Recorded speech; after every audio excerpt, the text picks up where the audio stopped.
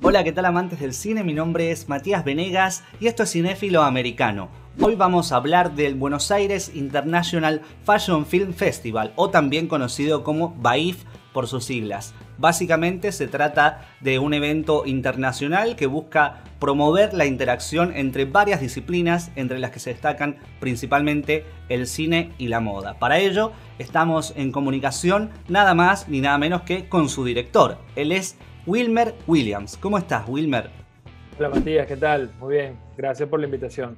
Bueno, me alegro de que estés muy bien, el agradecimiento es mío por haber aceptado esta comunicación y yo creo que para empezar deberíamos eh, conceptualizar, para aquellos que no lo saben, eh, qué entendemos por fashion film.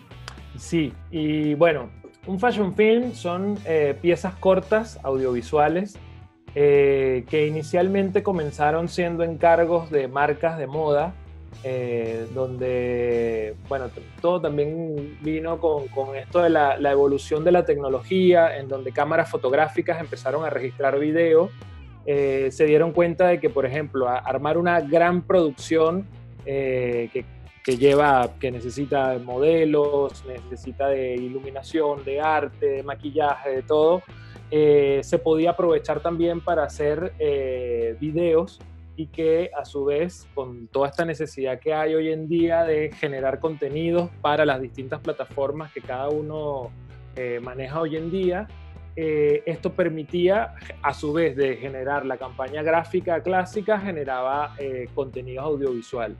Después también esto fue como evolucionando de una manera en la que ya no era un adicional, sino que se fue convirtiendo en, como en una pieza primaria fundamental para las marcas. Eh, y hoy en día la evolución que tuvo el, fashion film, digamos, es donde se, se ha convertido como en piezas artísticas en donde ya no, ya no es una exclusividad de las marcas, sino que puede ser, por ejemplo, la decisión de un realizador audiovisual o de un artista visual que desee hacer un cortometraje y decida una estética en particular y sea ese artista quien convoque a alguna, alguna marca de ropa o de accesorios o, para que participe en, el, en, su, en su corto.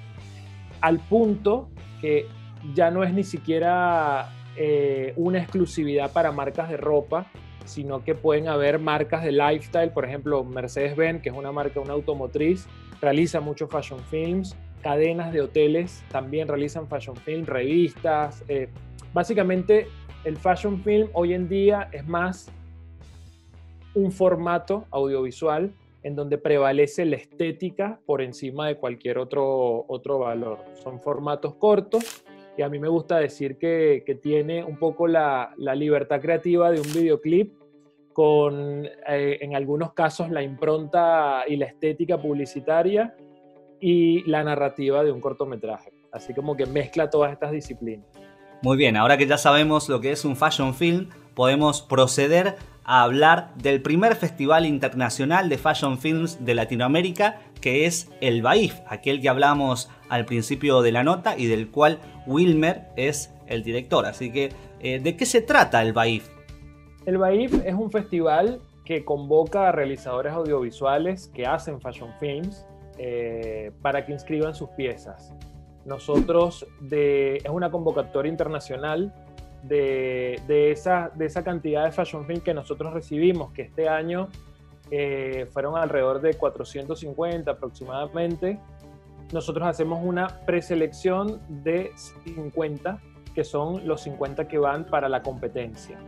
Luego eh, nosotros elegimos un jurado eh, que tratamos de que sea lo más diverso a nivel de, desde punto de vista y de disciplinas en donde obviamente sean todas disciplinas que convoquen a, lo que nosotros apuntamos, que es precisamente el maquillaje, estilismo, la dirección de fotografía, dirección de arte, eh, la performance dentro de los fashion films.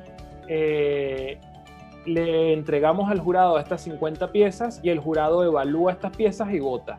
De, esa votación que realiza el jurado es donde salen los ganadores de las 14 categorías que tenemos, que este año estamos me, quedé un poco en la duda porque este año estamos estrenando eh, tres nuevas categorías que no las tuvimos en las ediciones anteriores. Este año, además de las categorías que normalmente teníamos, agregamos videoclips, videos experimentales y snack content, que obviamente, por ejemplo, en el caso de los videoclips y de los videos experimentales, siempre buscamos de que tenga una estética en particular y que sobresalga la estética de ese trabajo. A diferencia de un festival de videoclip que recibe cualquier eh, video relacionado con una banda, un músico o una música, eh, nosotros destacamos los trabajos que están más relacionados a, eh, obviamente, la estética o lo fashion o incluso la danza, como que juegue con estas disciplinas. Y Snack Content es una categoría que estamos agregando este año. Me parecía muy interesante para mí agregar una categoría como esta, porque se refiere directamente a estos contenidos cortos que son básicamente pensados para Instagram o estas redes sociales, que son contenidos que no pasan de 20 segundos eh, y que lo que buscan precisamente, como, como su palabra lo dice, son contenido snack, ¿no? Es, una, es algo rápido y, sigues a lo próximo sin tener que contarte una historia ni desarrollar eh, ninguna historia en particular. Bueno, no sé si lo mencionaste anteriormente, en cualquier caso te lo pregunto para que quede claro.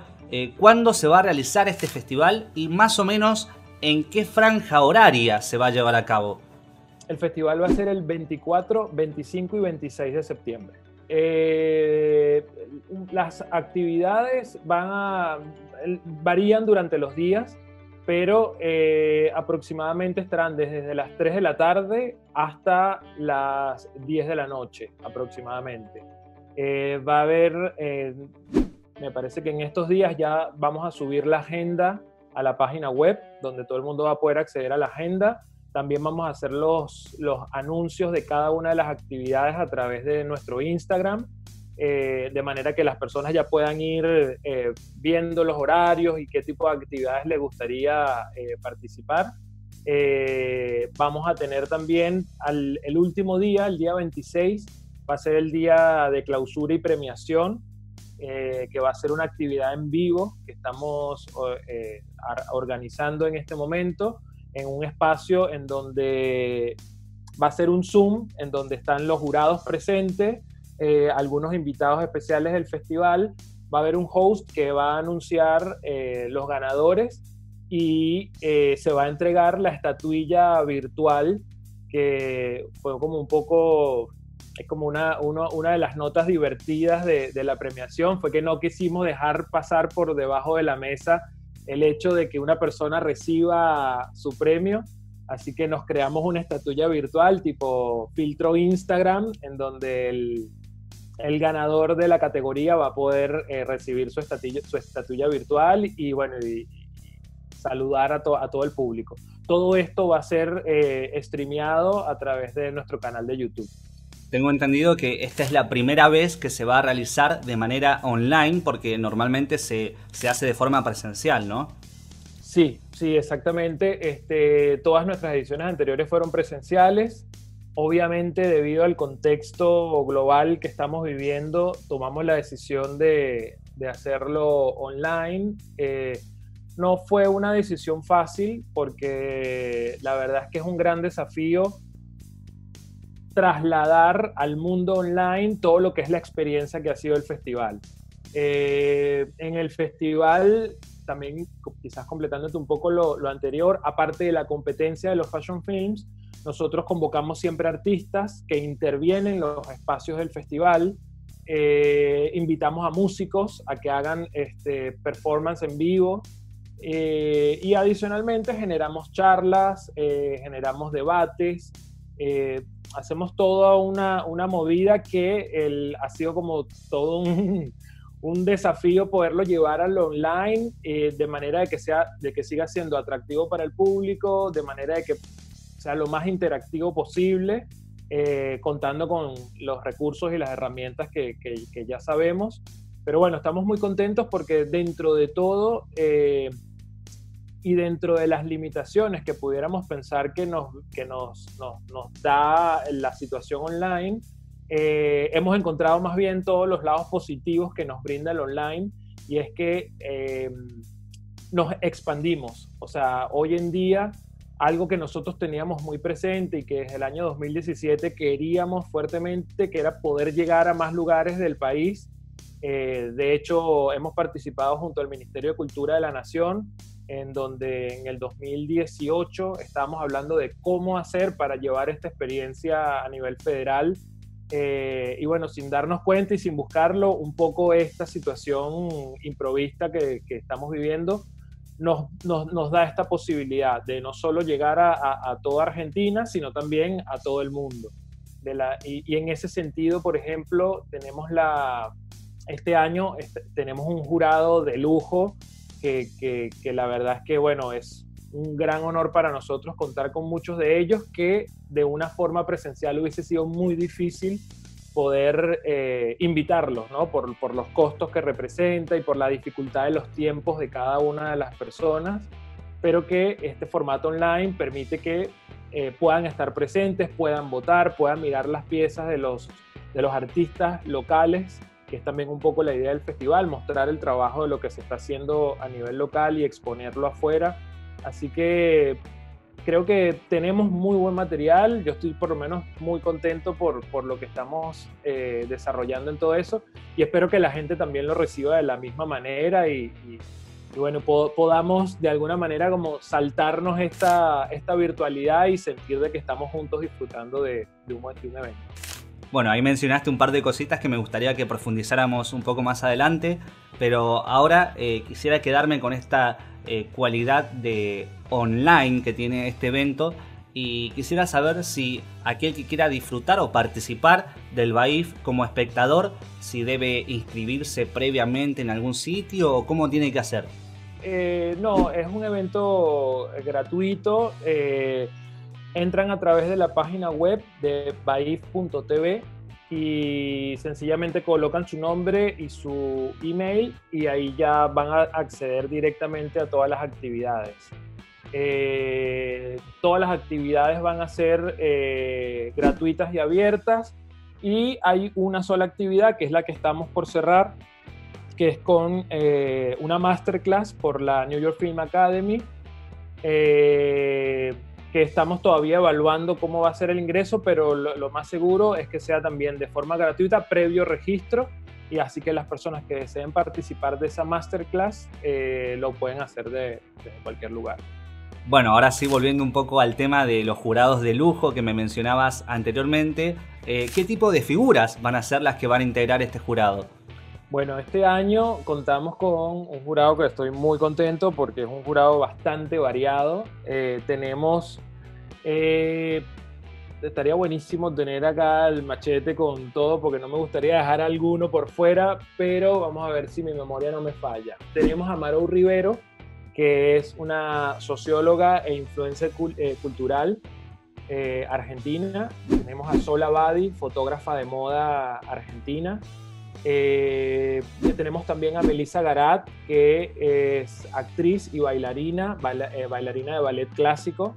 Eh, está también un artista eh, muy, muy, muy grosso y de la cual la verdad es que eh, me encanta el aporte y la, y la, visión que está dándole a, este año a la, selección oficial, que se llama Eric Madigan Heck, que es un artista norteamericano que es, pintor, fotógrafo y realizador audiovisual. bueno, por ejemplo, te cuento, él ha hecho tapas para la revista Time, The New York Times, eh, incluso para desde Taylor Swift hasta Joe Biden, el candidato norteamericano a la, presidencia de los Estados Unidos. Eh, tipo, ahí a ese nivel y ha hecho campañas para Gucci, para, para marcas muy importantes. Tenemos también a Diane Pernet. Diane Pernet es la directora del primer festival de Fashion Films que se hizo a nivel mundial, que es el Festival de París. Se llama A Shade of View on Fashion Film. Eh, también súper orgulloso de que, de que Dayan Pernet esté compartiendo con nosotros. Eh, tenemos también a Peter Manchich, que es el director de programación del Festival de Fashion Film de Ucrania. También nos acompaña Hernán Corera, que es un director eh, cinematográfico, básicamente hacia publicidad y, videoclips argentino, que la verdad es que, bueno, también muy contento con la presencia de él. Tiene una, él, estuvo nominado a los Grammys con algunos de los videoclips de Ilya Kuriaki, así que eh, director de mucha experiencia. Eh, por ahí tenemos también a, em, a un director italiano llamado Luca Finotti, que es un director que este, fue mencionado por la revista Forbes como el director eh, de fashion film virales del momento. Eh, ellos, muchos de ellos van a estar también participando con charlas dentro del festival eh, donde bueno, vamos a conocer un poco más también sobre, sobre su trabajo y, sobre toda su carrera profesional.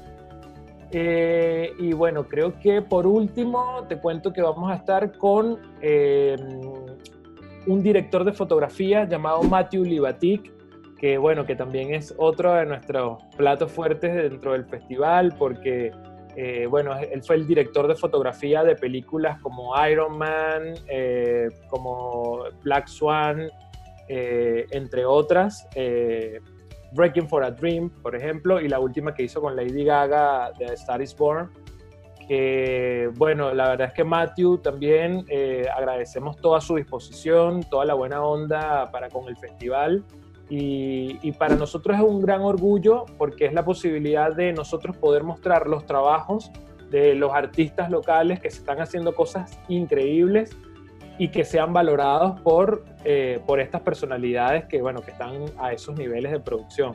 Eh, justo hoy, por ejemplo, estamos en día de analizar resultados y todo, y, y yo en lo personal estaba completamente emocionado de ver los puntajes de todos ellos con respecto a los trabajos de colegas nacionales y, nada, como que eso es un poco la esencia que siempre buscamos del festival. Bueno, ya que decís esto de que uno de los jurados ha sido distinguido por la revista Forbes, eh, el BAIF también ha sido distinguido por la revista Forbes como uno de los mejores cinco festivales de fashion films de todo el mundo, ¿no?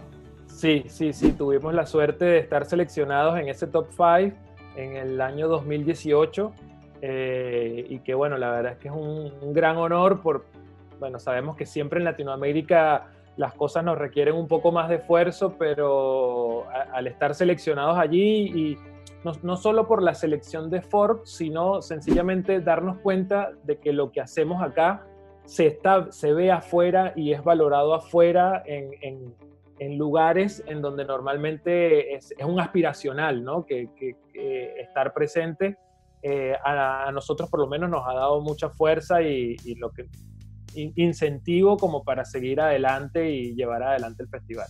Si bien es cierto que todavía falta un poquito para que se lleve a cabo esta edición, eh, me gustaría saber si se han planteado eh, trasladarse a este formato online de forma permanente o si simplemente van a esperar a ver qué, a ver qué sucede en esta edición y, después van a evaluar cómo, cómo, proceden.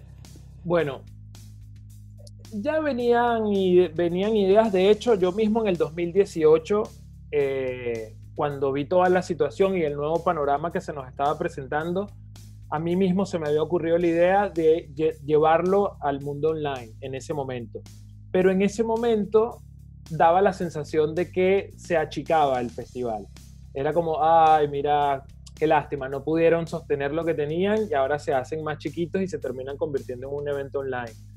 La situación cambió completamente. Todos los grandes festivales este año han tenido que migrar al mundo online, con lo cual nos dejó todo como en, bandeja servida para poder eh, eh, probar y, investigar y experimentar en este, en este nuevo formato.